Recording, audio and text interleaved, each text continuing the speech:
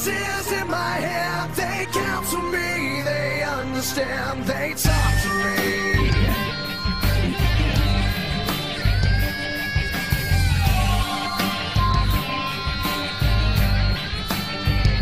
You got you. Okay, it's the Viper 5567 here with another episode of Random Pay Per View. This is going to be episode 13. This is WWE No Mercy 2006. So, this was in the RBC Centre in Raleigh, North, Raleigh, North Carolina, and a crowd of just dead on 9,000. This was a production of SmackDown. Not a bad pay per view. Was better than Judgment Day, I can tell you that anyway. But, um, definitely one second, just going to off the television. Um, definitely better than Judgment Day by a country mile. Uh, some decent matches, some matches that really surprised me too as well. So let's get on with the show we? 'cause I'm gonna make this a long video. Uh, first match, Matt Hardy defeats Gregory Helms in a very good opener. I must say, really enjoyed it. I gave it three stars. It was a good match. Both obviously guys know each other quite well. Obviously from there, obviously both being from North Carolina and both growing up together as friends. So. So a good match. Uh, nice kick from Ro- uh, Helms. Matt then a close and that sends Helms over the top rope. Matt then with a plancha. Sit down powerbomb from Matt. Then knee to the back of the head from Helms gets two. Russian leg sweep. Sweep from the second rope gets two for Helms. Knee to the skull gets two as well. Reverse DT from Matt and then a nice right hands from Matt and then a clothesline. Bulldog then gets two. Leg drop then from the second rope also gets two. Matt goes for twist of fate but Helms counts into a um, some move that I don't know. I've actually tried to look it up, but I can't. But I got two. It got two. Uh, it looks like a reverse DT. It looks like a reverse. Looks like a reverse, yeah, like a reverse type DDT. Yeah, he does it again twice. Side effect then gets two for Matt. Matt does it again, gets two, and then yet again, uh, Matt goes in for a moonsault, but Helms gets the knees up. Matt gets a roll up for two. oh, excuse me. And Shining Wizard from Helms gets two. Helms then hangs Matt balls first onto the ropes while Matt is stuck on the ropes. Shining Wizard from the top gets only two again. Oh, excuse me. Uh, Twist of Fate then gets the win. So a very good match. I must say, really enjoyed it. Good way to start the show. Uh, we see King Booker and Sharmell talking to Regal. He talks about the Fatal Four. He wants Regal to find uh, and talk to Finlay. So yeah. Next match then is for the WWE Tag Titles. Uh, Paul London and Brian Kendrick defeat uh, Idol Stevens and KC James. Good match actually. I must say I really enjoyed it. I gave it two and a half stars. I wasn't expecting. I actually completely forgot about these two, like Idol Stevens, and never heard of them really. I, didn't, I don't think I actually watched SmackDown much in two thousand and six. If I'm being quite honest. Um, Honeck and Rana from London on Stevens. Crossbody from Kendrick gets two. Dropkick then from Kendrick on James double moonsault uh, planches from Kendrick and London. James pushes London off the top rope onto the floor thanks to McCool. Knee spine from James on London that gets two. Dropkick then from Kendrick on James and then another dropkick from to Idol Stevens. Suicide dive then on Stevens from London. Superplex then from James that gets two on Kendrick. London then with a dropkick and then a tornado DDT that gets two thanks to Michelle Cool. Uh, yeah, cool. Uh, backdrop then from Stevens, that gets two. Ashley attacks Michelle. Double drop kick from Kendrick. Sliced Bread and then a Northern Light moonsault gets the win for Kendrick and London. So yeah, this won the match that I wasn't expecting to be quite good.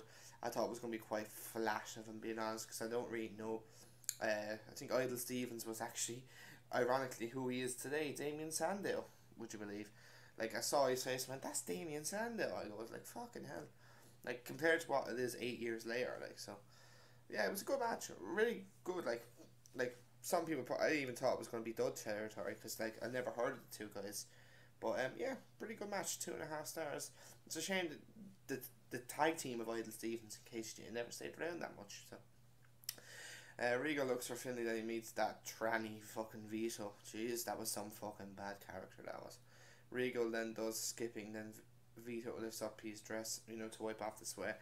Regal then fall, kind of moans and then falls into a load of mustard and ketchup, which was stupid. Absolutely fucking stupid. Then we see Theodore Long, uh, Son's birthday here on SmackDown. It is The Miz. Yes, The Miz. Uh, hoorah. The crown chant loser. Layla comes out with lingerie, which Eh, she looked quite nice, I must say. But a the fact is, I'm not here to watch it. If I want to watch that stuff, you know where to go. But um, Miz looks speechless when he wants her to, as our wish. Layla does a dance, basically blindfolds him. She pulls up uh, the big fucking present that was in the middle of the ring. It was actually Big Dick Johnson. he starts dancing on fucking stupid segment. Like it, they could have had another match, or they could have added time to another match that probably needed time. But sure, look, that's just WWE for you. Oh, just, yeah, this is one. This is one thing that really pissed me off. MVP defeats Marty Garner in a dud. Like MVP's like first match on pay per view is a fucking against a fucking jobber. Like no, I don't mean jobber. I mean like proper guys that just going to make a guy look good. This guy oh, was fucking shy. Like these matches should be on SmackDown, not fucking pay per views. Like I know fair enough JBL was just doing it as a storyline, but I say I agree with what JBL says. Little but crap basically. Um says he's the greatest athlete of all time. I am the MVP. Crowd chants Power Ranger, which was fucking brilliant. He's even so oh, he's very cocky. He was very cocky. Like just oh how cocky are you? JBL goes clothesline and then what's the name? What's the name of MVP's finishing move? Is it fucking balling? Whatever it's called. That gets the win. Who the fuck cares? Then we see Regal and Vito again. He Vito shows his balls. Regal runs out basically naked. Teddy says, "You get ready for a match." Basically, no more horseplay and all that crap. Technically, you're not supposed to see his arse. It just the tail fell off, and WWE actually apologized, which was quite funny. Uh, next match, Mr. Kennedy. Uh, Mr. Kennedy defeats The Undertaker by disqualification. It was a decent match, I must say. I don't like the way the match finished, if I'm being completely honest. But hey, what can you do? It was just stupid, really, in my opinion. I think Kennedy should have won the match clean. Or not clean, but, like, you know how I mean. Um, big move from Taker. Taker works on the arm. Taker and rams the arm of Kennedy uh, off the steps. Then Taker rams the arm into the ring post. Taker with a big boot to the arm uh, of Kennedy. Kennedy encounters old school. Rams Taker off the ropes. Taker then with old school again. Flatliner from Taker that gets two. Um, Kennedy removes the turnbuckle pad. Taker gets two off a clothesline. Taker then chokes Kennedy in the corner. Taker rams Kennedy back first into the ring post. DT from Kennedy gets two. Kennedy then with a boot to the face of Taker that gets two. Elbow from Taker. Then a leg drop from Taker on the apron. Kennedy then with a pile driver gets two. Michael Cole shut the hell up. It was a pile driver, not a tombstone, you fucking twit. Michael Cole, how the fuck is he still in this fucking co- like dude, it was not a tombstone pile driver. Jesus Mary and fucking Joseph. Like what an absolute fucking twit of a commentator. God, I'd rather listen to Renee fucking do you know what? I'd rather listen to fucking Renee Young all fucking day than listen to you. You twat. Oh god he, he botches more than fucking Batista. Oh god. Jesus. Taker then with a flying clothesline, then a running clothesline in the corner from Taker, then Snake Eyes, and then a big boot. Leg drop then gets two for Taker. Taker for with goes for a chokeslam, but Kennedy uses the ref as a shield. Swinging neckbreaker gets two for Kennedy. Taker with a chokeslam on Kennedy. Kennedy rams Taker into the exposed turnbuckle, then then a clothesline. Kenton Bomb gets two. Taker hits Kennedy with the US title, I guess disqualification. think bad way to end what was a decent match. Taker attacks Kennedy after the match and gets the tombstone pile driver yeah, I was disappointed the way Taker kind of let you know, like I wouldn't say lost the head, but I just think the way the DQ, but um, pretty good match, two and a half stars. It could have been a lot better, but sure, hey, what can you do? Uh, we get on to the next match. Was what was the next match? What was the next match? It was Rey Mysterio defeating Chavo Guerrero in a fought.